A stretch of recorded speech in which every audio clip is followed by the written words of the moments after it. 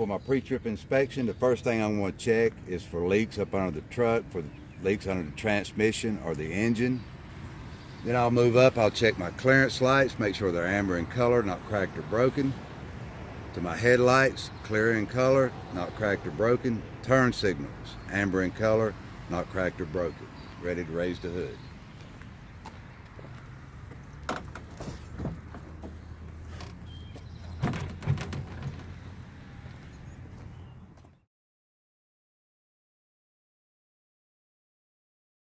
On the right side of the engine, the first thing I want to check are my hoses. Make sure there's no loose or missing clamps, no leaks, no damaged hoses.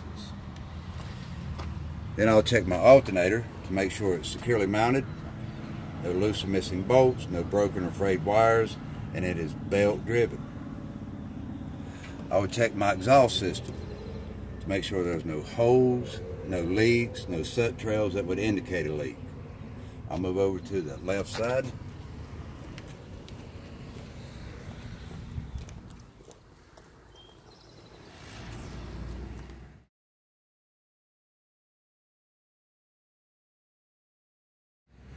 On the left side of the engine, first thing I want to check is my coolant level to make sure it is between add and full.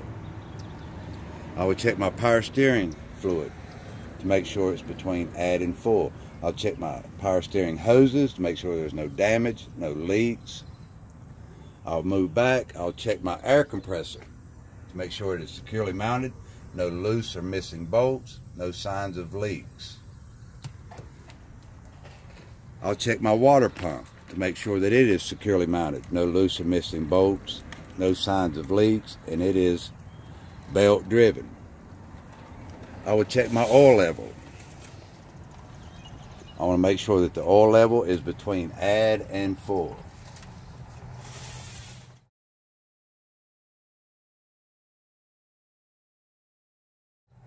From there, I'll move to my steering assembly. I'll check my gearbox to make sure it's securely mounted to the frame, no loose or missing bolts, no signs of leaks. I'll check my steering linkage, make sure that nothing is bent, broken, damaged, the sockets and joints are well lubricated and not worn. I'll check my castle nuts and cotter pins to make sure they're all there and tight. I'll move to my suspension. I'll check my spring mounts, front and rear, to make sure they're securely mounted to the frame, no loose or missing bolts, and no damage. I will check my springs to make sure that they're not shifted, they're not cracked, broken, or missing, and held on with two tight U-bolts. I'll check my shock absorber to make sure that it is securely mounted, no loose or missing bolts, and it's not cracked, dented, or leaking.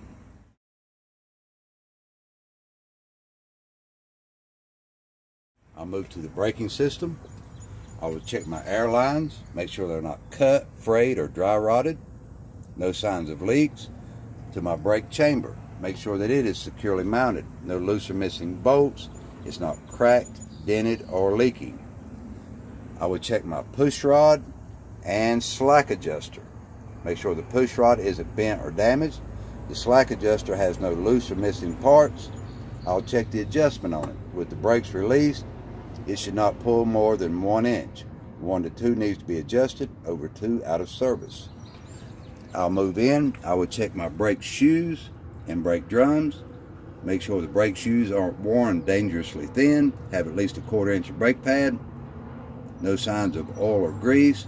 I will check my brake drum. Make sure it's not cracked, broken, or warped.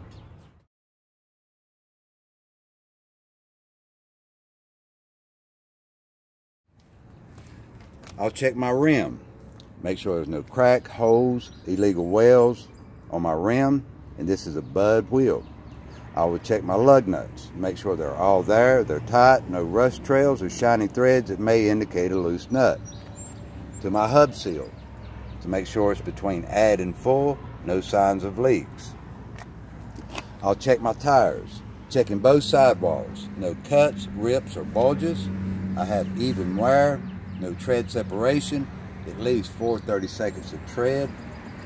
I will check the air pressure, with the air gauge and this tire should be 100 to 110.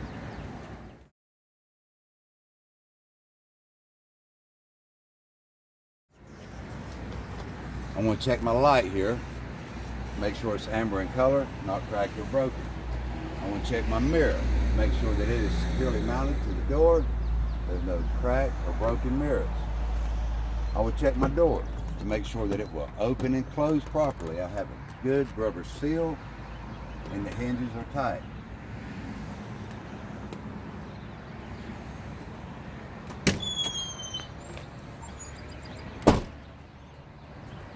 In my side compartment, I'll make sure I have three reflective triangles, a properly rated fire extinguisher with the needle in the green, and this one here should be at least a 5 BC. I'll come back and check my steps to make sure that they are securely mounted, no obstructions, and they will support my weight. I will check my fuel tank. Make sure my saddle straps are securely mounted. I have a good rubber insulator. Make sure my fuel cap is on secure and my fuel tank has no leaks.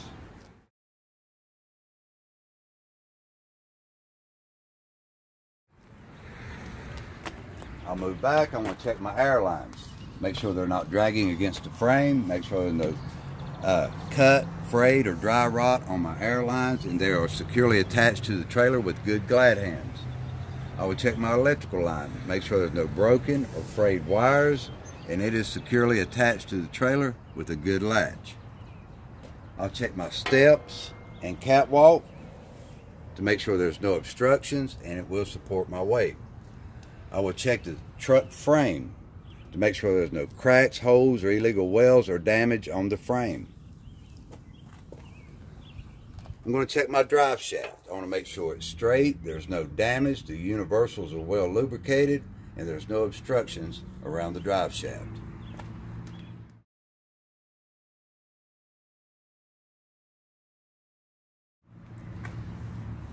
Here I want to check my suspension, check my spring mounts to make sure that they're securely mounted to the frame, no loose or missing bolts and no damage. Here I want to check my spring, make sure it's not shifted, cracked, broken, or missing. I want to check my U-bolts to make sure they're tight. Go back to my shock absorber to make sure that it is securely mounted, no loose or missing bolts, and it's not cracked, dented, or leaking.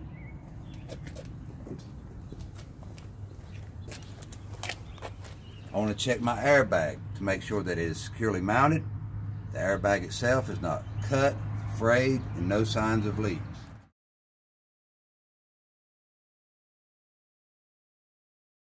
Checking my braking system, the first thing I want to check are my air lines. Make sure they're not cut, frayed, or dry rotted, no signs of leaks.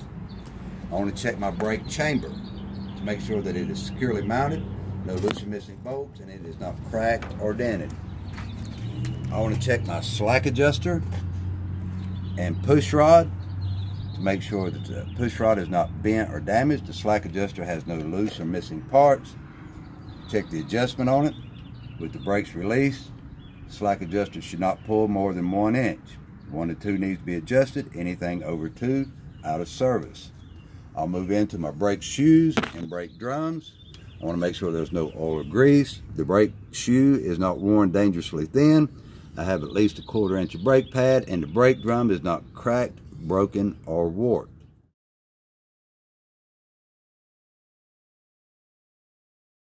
I will check my wheel assembly. First thing I want to check is my spacing.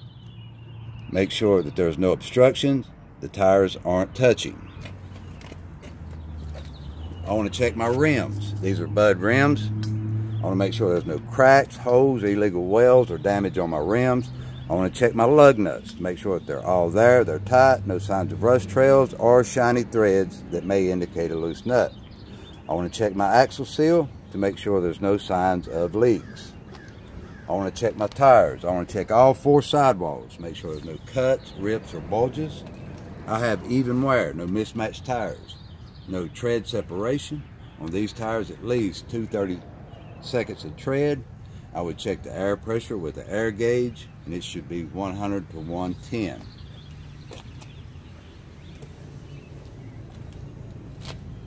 I want to check my mud flap to make sure that it is securely mounted, no loose or missing bolts, and no damage.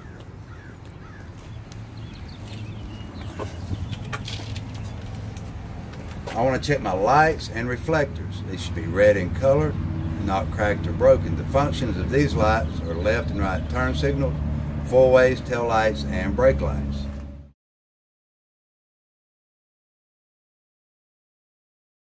I want to check my fifth wheel. I want to make sure there's no gap between the trailer and the fifth wheel. I want to check my locking jaw to make sure it's locked around the shank of the kingpin. I want to check the kingpin itself to make sure it's not bent, damaged, and no flat spots.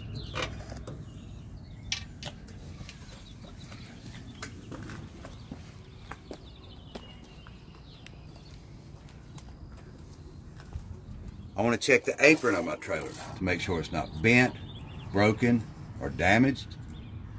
I want to check my sliding fifth wheel to make sure that the pins are locked in place.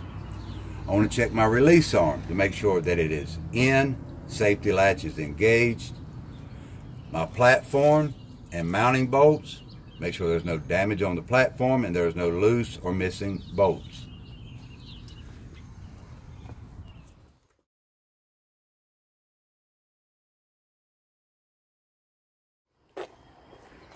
On the front of the trailer, I want to check my clearance lights, make sure they're amber in color, not cracked or broken.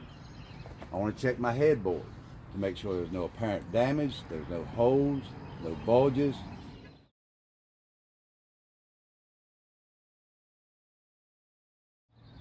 On the side of the trailer, I want to check my clearance light and marker light to make sure that they're amber in color, not cracked or broken. I want to check my trailer frame Make sure it's not bent, broken, or bulging, no damage, with clean visible DOT tape.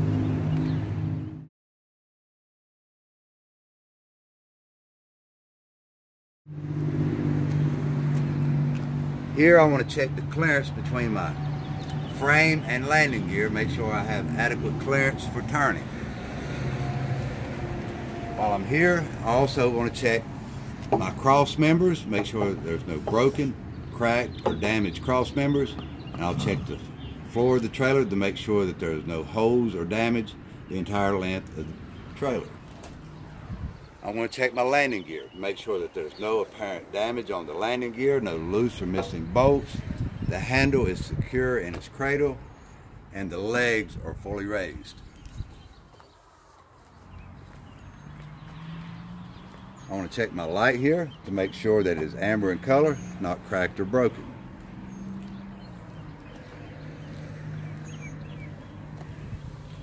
Here, I want to check my sliding tandem. I want to make sure that the pins are locked in place, the handle is in and secure.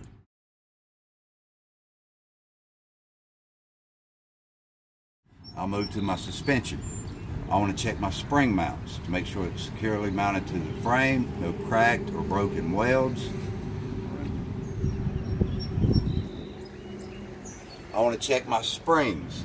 I want to make sure that they're not shifted, cracked, broken, or missing, held on with two tight U-bolts. I want to check my torsion rod. I want to make sure it's not bent or damaged.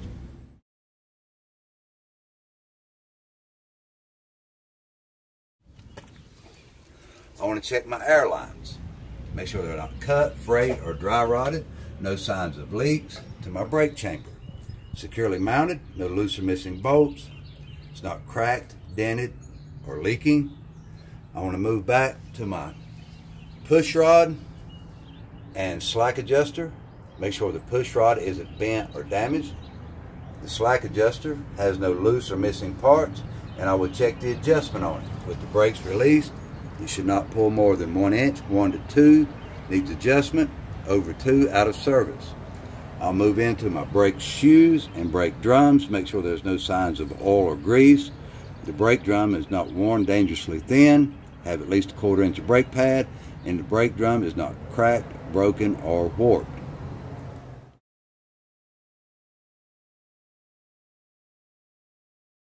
Move to my wheel assembly. I want to check the spacing between the tires.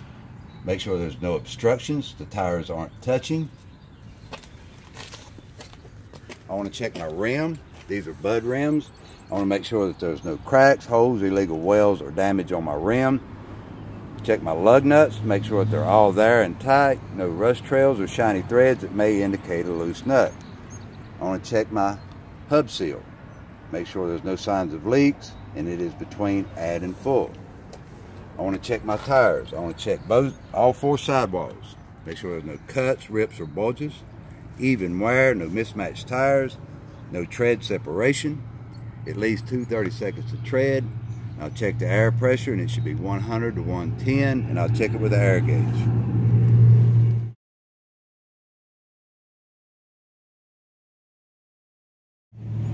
I want to check my mud flap. Make sure it's securely mounted, no loose or missing bolts, and no damage. My door tab.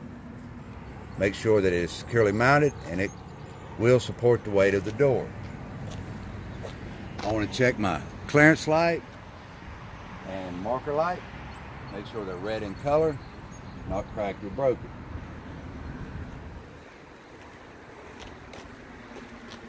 On the back of the trailer, I want to check all of my lights back here. I want to make sure that they're red in color and not cracked or broken. The functions of these lights are left and right turn signals, four ways tail lights, and brake lights. I want to check my doors. Make sure there's no apparent damage on my doors the hinges are strong enough to support the weight of the door. The door will open and close properly. I have good DOT tape along the back of my vehicle. I want to check my door chains to make sure that they are strong enough to support the weight of the door when it is open. Tag light, clear in color, not cracked or broken.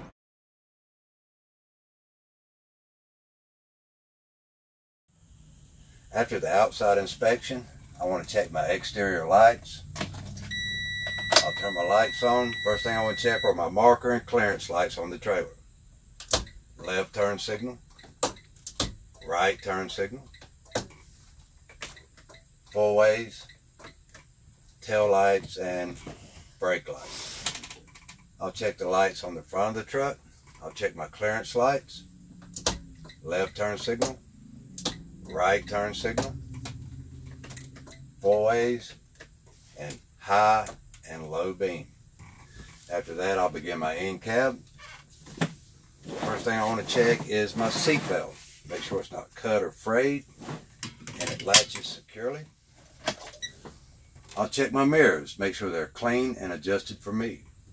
I want to check my windshield, make sure there's no cracks, damage, no illegal stickers or obstructions on my windshield. From there, I will do a safety start I'll push in the clutch, make sure the truck is in neutral. When I start the engine, there should be an ABS light come on and go off. The ABS light came on and went off. First thing I'm going to check is my oil pressure. Make sure it rises to operating pressure. I will check my water temperature. It should rise to operating temperature. Check my voltmeter. Make sure it is between 12 and 14. I'll check my air pressure, make sure it's reading between 100 and 125. Then I'll move over to the left. I want to check my indicator lights on the dash. Left turn signal indicator is working. Right turn signal indicator. Four ways and high beam indicator. I want to check my windshield wipers, make sure they're functioning, and my windshield washer fluid. I'll move over, I'll check my city horn, highway horn, Move on over, I want to check my defrost and heater to make sure that they're operating properly. Move on over and check my, make sure I have spare fuses and circuit breakers. From there, I'll begin a tug test. I'll place the truck in first gear. I'll release the tractor brakes. And I'll gently tug on the trailer brakes.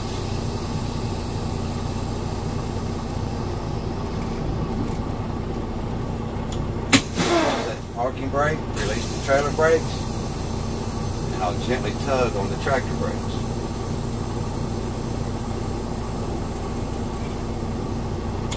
Then I'll release both brakes. I'm going to check my service brake, and I do that by slowly moving forward. About five miles an hour, apply the service brake to make sure that the vehicle stops in a straight line and does not pull left or right. From there, I'll start my lab. I'll turn the engine off Turn the ignition back on, but not starting the truck. make sure both brakes are released. I'm going to sit back and I'm going to watch my air gauge. I should not lose more than 4 psi in one minute with the brake applied. Once I'm satisfied with that, I'm going to check my alarm. My alarm low air warning should come on around 60 psi. I'll pay my brake till it comes on. I have a low air warning at approximately 60 psi. I'll continue fanning it down between 40 and 20 psi. My tractor protection valve should automatically close, followed by my tractor brake.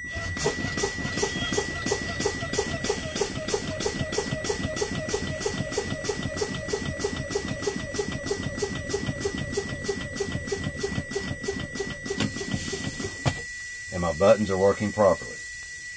That should end my in-cab inspection.